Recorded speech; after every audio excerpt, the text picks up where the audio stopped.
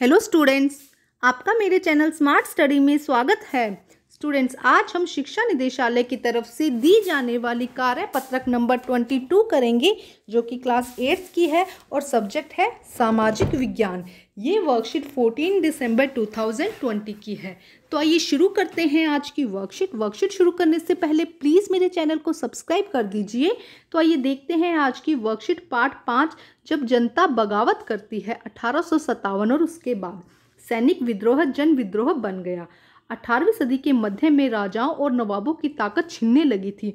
उनकी सत्ता और सम्मान दोनों ही खत्म होते जा रहे थे। तो बेटा, पिछली वर्कशीट में हमने देखा था कि अठारहवीं शताब्दी या सदी के मध्य तक क्या हुआ था? जितने भी राजा थे और नवाब थे, उनकी ताकत छिनने लगी थी और उनकी सत्ता और सम्मान दोनों ही क्या होते जा रहे थे? खत्म होते जा रहे थे। अवध पर हुए कब्जे से सिपाही गुस्से में थे। उनके भीतर गहरा विश्वास भर गया था। अवध पर जब अंग्रेज़ों ने कब्जा कर लिया था, ज़बरदस्ती कब्जा कर लिया था, जिससे कि क्या हुआ था, वहाँ के जो सिपाही थे, वे गुस्से में थे, उनके भीतर गहरा अविश्वास भर गया था। उन्हें लगता था कि अंग्रेज़ सरकार हिंदुओं और मुसलमानों के धर्म को नष्ट करने पर आमादा है। इस पर देखो, जो अंग्रेज़ों थे, अंग्रेज़ थे, उन्होंने एक ये बोला था कि जो भी ईसाई धर्म को अपनाएगा, उससे प्रॉपर्टी उसे रखी जाएगी। यानी बहुत ज़्यादा ईसाइयों को क्या दिया जा रहा था, उनको प्रमोशन किया जा रहा था ईसाई धर्म का। तो उससे क्या हुआ था, जो हिंदुओं थे, उनको लग रहा था कि हिंदू और मुसलमानों को लग रहा था कि उनके धर्म नष्ट करने पर अंग्रेज़ क्या है अमादा हैं, वो चाहते हैं कि हिंदू और मुस्लिम का धर्म नष्ट किया जाए और सबको ईसाई बनाना चाहते थे। इसी खबर के दौरान यह खबर फैल गई कि एनफील्ड राइफलों के इस्तेमाल में होने वाले कारतूस पर गाय और सुअर की चर्बी थी। तो इसी समय जब ये सब बातें चल रही थी तो ये बात भी फैल गई कि जो राइफ़ल वो यूज़ कर रहे हैं, जो सिपाही राइफ़ल यूज़ कर रहे हैं, वो क्या है? गाय और सुअर की चर्बी से का लेप चढ़ाया गया इसे हर एक रेजिमेंट में उत्तेजना का माहौल बन गया इसे सब में क्या हो, सब एक्साइटेड हो गए कि ऐसा हम नहीं कर सकते, क्योंकि हिंदू और मुसलमान ये सब बातों को, ये सब सभी उनको स्वीकार नहीं था, क्योंकि उसे जो राइफ़ल थी, उसे मुँह से खोलना पड़ता था, जिससे कि उनके धर्म पर बात आ रही थी। आगे देखिए, विद्रोह की शुरुआत युवा सिपाही मंगल पांडे, सबसे शुरुआत किसने की थी? मंगल पांडे ने की थी। उनतीस मार्च अठारह सौ सत्तावन को युवा सिपाही मंगल पांडे को बैरकपुर में अपने अफसरों पर हमला करने के आरोप में फांसी पर लटका दिया गया। तो सबसे पहले विद्रोह की शुरुआत, सबसे पहले मंगल पांडे ने ये बोला था कि इस कारतूस को जो ये दी गई है, राइफल दी गई है, इसे वो अपने मुँह से नहीं खोलेंगे। तो शुरुआत मंगल पांडे के थ्रू की गई थी। और 29 मार्च अठारह सौ सत्तावन को उन्हें फांसी पर लटका दिया गया था। बैरकपुर के पश्चिम बंगाल के मंगल पांडे थे और उन्हें फांसी पर लटका दिया गया था। कुछ दिनों बाद 9 मई को मेरठ में पिचासी सिपाहियों को फौजी के अभ्यास से इनकार करने के कारण नौकरी से निकाल दिया गया और अफसरों का हुक्म न मानने के कारण 10 साल की सजा भी दी गई। अब उसी के कुछ दिनों बाद 9 मई को क्या हुआ? पिचासी सिपाही थे, उन्हें काम न करने से उनसे उन्होंने जो फौजी अभ्यास था उससे इनकार करने के कारण उन्हें नौकरी से ही निकाल दिया गया और ये कहा गया कि और नौकरी से निकाला गया, साथ में उन्हें दस साल की सजा भी दी गई। अफसरों का हुक्म न मानने के कारण। अगले ही दिन दस मई को सिपाहियों ने मेरठ की जेल में धावा बोलकर वहाँ बंद सिपाहियों को आज़ाद करा लिया। अगले दिन दस मई को जो सिपाही थे देखो, नौ को क्या हुआ था, उन्हें सजा हुई थी और दस मई को कुछ सिपाहियों ने मेरठ की जेल पर हमला बोलकर वहाँ के बंद सिपाहियों को आज़ाद करा लिया।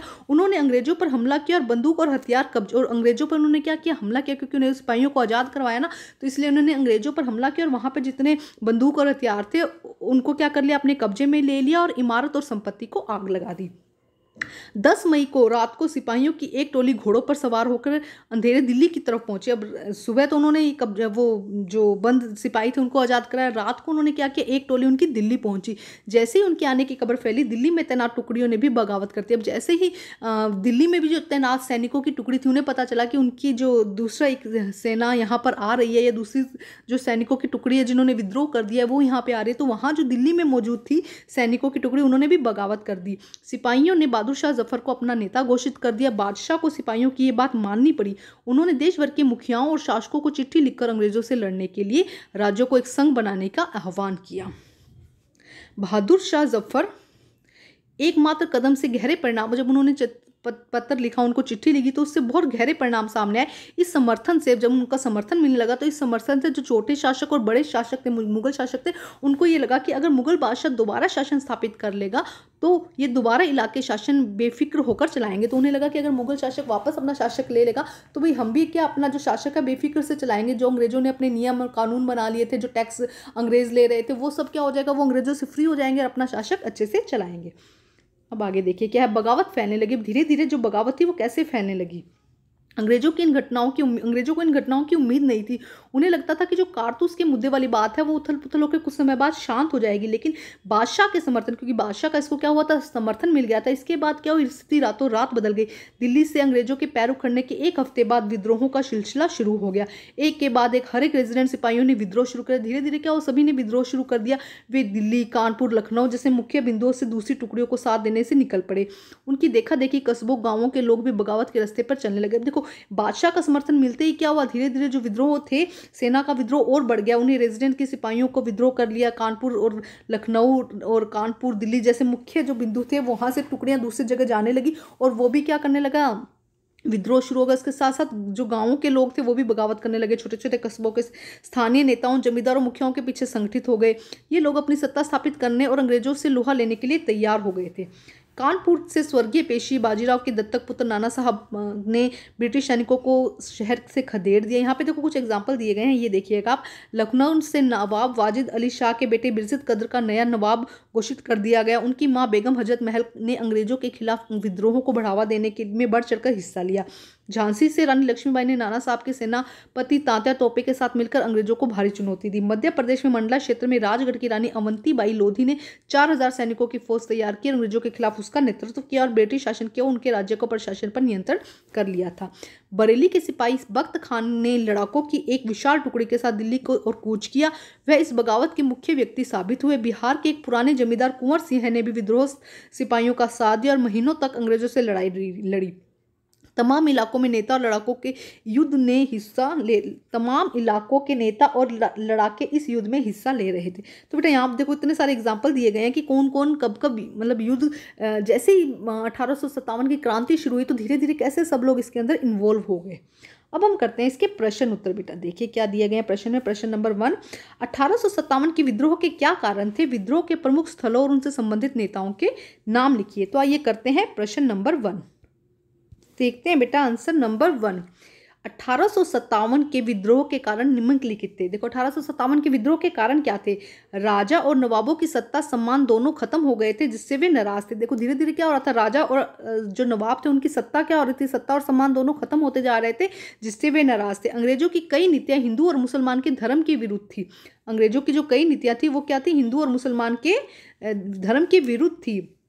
अवध के कब्जे से सिपाही गुस्से में थे, जो अवध पर कब्जा कर लिया था, उससे जो सिपाही थे, वो गुस्से में में थे और उनमें अविश्वास बढ़ता जा रहा था और एनफील्ड राइफल के कारतूसों पर गाय और सुअर की चर्बी के लेप से सिपाही नाराज़ थे। सबसे मुख्य कारण यही था कि एनफील्ड राइफल में जो कारतूस पर गाय और सुअर की चर्बी का लेप था, उसके कारण जो सिपाही थे, वो नाराज़ थे। उन्होंने कहा कि मुख्य जगहों के नाम बताओ, उनके नेताओं के नाम बताओ जो इसमें इन्वॉल्व थे। तो देखिए क्या क्या आ रहा है। सबसे पहले बैरकपुर, पश्चिम बंगाल, मंगल पांडे। ठीक है? लखनऊ, बिरजिस कद्र, बेगम हज़रत अली महल सॉरी झांसी, रानी लक्ष्मीबाई, तांत्या तोपे, मध्य प्रदेश, रानी अवंतीबाई लोधी, बरेली सिपाही, बख्त खान। इसके बाद है बिहार, कुंवर सिंह और कानपुर, नाना साहब। बेटा, ये सब आप लिख लीजिएगा और याद कर लीजिएगा इनको, ठीक है? अब हम करते हैं प्रश्न नंबर टू प्रश्न नंबर टू देखिए बेटा, क्या दिया गया है प्रश्न नंबर टू में? मुगल सम्राट विद्रोहियों के समर्थन के लिए क्यों तैयार हो गए थे? सोच कर लिखिए। जो मुगल थे, वो क्यों तैयार हो गए थे बेटा? देखो, उन्हें तो ये लग रहा था ना कि अंग्रेज़ों से हमारा, अगर अंग्रेज़ों से पीछा छूटेगा, उनका तो यही था ना कि अगर अंग्रेज़ यहाँ से जाएँगे तो हम अपना शासन यहाँ पे कर सकेंगे। तो ये हो जाएगा बेटा आंसर नंबर टू कि इनके समर्थन से छोटे शासक और रजवाड़ों को ये लगता था कि अगर मुगल बादशाह शासन स्थापित कर लेगा तो वे दोबारा अपने इलाकों का शासन जो है, वो बेफिक्री से चलाने लगेंगे। तो देखते हैं इसका answer. Number two. Answer number two, अपने राज्यों को अंग्रेज़ों के नियंत्रण से बचाने के लिए सम्राट विद्रोहियों का समर्थन करने को तैयार हो गए। देखो क्या था, अपने राज्यों को अंग्रेज़ों के नियंत्रण से बचाने के लिए जो सम्राट थे, वो विद्रोहियों का समर्थन करने के लिए तैयार हो गए। छोटे शासकों, रजवाड़ों रजवाड़ों को ये लगता था कि अगर मुगल बादशाह दोबारा शासन स्थापित कर ले तो दोबारा स्थापित शासन स्थापित कर ले तो वे दोबारा अपने इलाकों को पर शासन बेफिक्र होकर चलाने लगेंगे। तो ये है बेटा आंसर नंबर टू का। देखो, क्या हुआ था, अंग्रेज़ों को क्या लगने लगा था? पहले तो आप यहाँ तक लिख दीजिएगा, देखो, क्या हुआ था, अंग्रेज़ों को ये लगने लगा था कि अगर अंग्रेज़ मुगल शासक वापस आ जाएगा तो क्या होगा अंग्रेज़ों से, वो अपने राज्यों को छुड़ा लेंगे? और इसके अलावा जो छोटे शासक थे, उनको ये लगने लगा कि अगर मुगल बादशाह दोबारा शासन स्थापित कर लेगा तो वे अपने इलाकों से शासन को बेफिक्र होकर चलाने लगेंगे। तो बेटा, यहाँ तक भी लिख सकते हैं आप, ये वाला यहाँ तक आंसर कर सकते हैं या पूरा लिख दीजिएगा, आपको जैसा ठीक लगता है। अब हम करते हैं प्रश्न नंबर तीन। प्रश्न नंबर तीन देखते हैं। बेटा, बहादुर शाह ज़फ़र के समर्थन में सैनिक विद्रोह को किस प्रकार बल मिला? जब बहादुर शाह ज़फ़र ने इसको समर्थन दिया तो जो सैनिक विद्रोह था, उसको किस प्रकार बल मिला? तो देखिए, यहाँ से इसका आंसर हो जाएगा बेटा बादशाह के समर्थन में, आंसर नंबर तीन यहाँ से कर लीजिएगा बेटा, बादशाह के समर्थन के बाद स्थिति रातों रात बदल गई। दिल्ली से अंग्रेज़ों के पैर उखड़ने के एक हफ़्ते बाद विद्रोहियों विद्रोहों का सिलसिला शुरू हो गया। एक के बाद एक हर रेजिडेंट से सिपाहियों ने विद्रोह कर दिया और वे दिल्ली, कानपुर, लखनऊ जैसे मुख्य बिंदुओं की तरफ़ दूसरी टुकड़ियों का साथ देने के लिए निकल पड़े। उनकी देखा देखी कस्बों, गाँवों के लोगों ने बगावत के रास्ते पर चलने लगे। वे स्थानीय नेताओं, जमींदार और मुखियाओं के पीछे संगठित हो गए। ये लोग अपनी सत्ता स्थापित करने और अंग्रेज़ों से लोहा लेने को तैयार हो गए थे। ठीक है? तो यहाँ तक बेटा, ये यहाँ तक कर लीजिएगा। ये हो जाएगा आंसर नंबर तीन। बेटा, थोड़े से आज के क्वेश्चन थोड़े से लेंथी है बट आपको आंसर पूरी डिटेल में देने पड़ेंगे, तभी आपको याद करने में भी आसानी होगी। अगर शॉर्ट में होगा और आपको समझ नहीं आएगा तो याद करना भी बेटा मुश्किल हो जाएगा। तो ये है आंसर नंबर तीन। अब हम करते हैं प्रश्न नंबर चार। कल्पना कीजिए कि आप आप कंपनी के सेना के सेना, सिपाही हैं, विद्रोह के बारे में अपने विचार लिखिए। तो आप, अगर कंपनी के सिपाही होते तो आपका क्या विचार होता? तो आइए करते हैं इसका आंसर हम। देखिए बेटा आंसर नंबर फोर। अगर मैं कंपनी की सेना में सिपाही होती तो मैं अपने देश के सिपाही और लोगों का समर्थन करती और अंग्रेज़ों अफसरों को समझाने का प्रयास करती कि भारतीय और उनके अधिकार व इलाके वापस दिए जाएँ। तो अगर मैं कंपनी की सिपाही होती तो मैं लोगों, भारतीय लोगों का ही समर्थन करती बेटा।